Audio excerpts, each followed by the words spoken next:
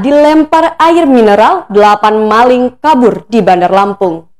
Peristiwa maling kabur terjadi di salah satu rumah di Jalan Bukit, Kelurahan Kota Baru, Kecamatan Tanjung Karang Timur, Bandar Lampung.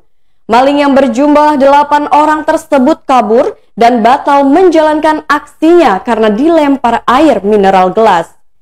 Rumah yang menjadi sasaran percobaan pencurian sepeda motor alias curanmor dari rekaman CCTV yang beredar, rumah tersebut diduga milik anggota DPR RI Zulkifli Anwar.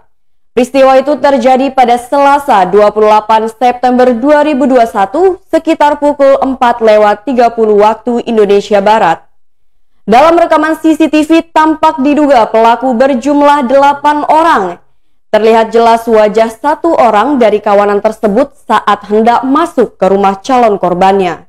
Menanggapi hal tersebut, Ketua RT 5 LK2 Kelurahan Kota Baru, Ahmad Akman menyangkal adanya pencurian di kediaman Zulkifli Anwar yang juga ayah dari Bupati Pesawaran, Dendi Ramadona.